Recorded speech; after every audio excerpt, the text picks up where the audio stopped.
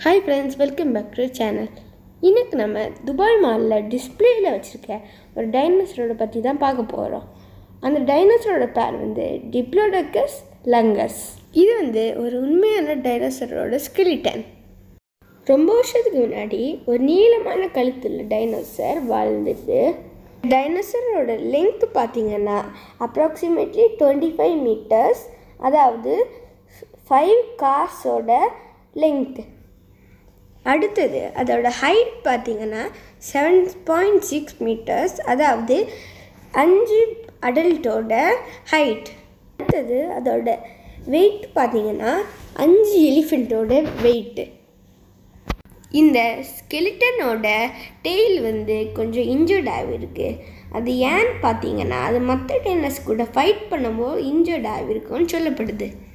இந்த ஸ்கெலிட்டனை யூஎஸ் இருக்க வியாமிங்கில் கண்டுபிடிச்சு துபாய் மாலுக்கு ஃப்ளைட் மூலமாக கொண்டு வந்திருக்காங்க. இந்த டைனோசர் வந்து வெஜிடேரியன் ஃபேமிலியில் உள்ள டைனோசர் இதோட லாங் நெக் வந்து இதை பெரிய பெரிய மரத்துலேருந்து எலியை பறித்து சாப்பிட்றதுக்கு யூஸ்ஃபுல்லாக இருக்கும். மற்ற பிரிடேட்டர்ஸ் கிட்டேருந்து தன்னை காப்பாற்றிக்கிறதுக்காக இது தன்னோட வாலை யூஸ் பண்ணிக்கும்.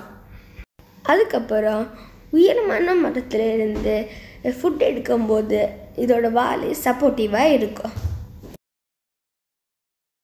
இதோட பிரெயின் வந்து ரொம்ப சின்னது. அதனால இதுக்கு கொஞ்சம் பிளட் சப்ளை போதும். இந்த ஸ்கெலிட்டனை அவங்க வியாமிங் டூ தௌசண்ட் எயிட் டேனக்வேரியில் கண்டுபிடிச்சாங்க. இதை கண்டுபிடிக்கும் போது இந்த டைனோசரோட ஸ்கெலிட்டன் வந்து ஒரு ஸ்லீப்பிங் பொசிஷனில் இருந்துச்சு. இதை தோண்டி எடுக்கிறதுக்கு ரெண்டு வருஷத்துக்கு மேலே ஆகிடுச்சின்னு சொல்லப்படுது.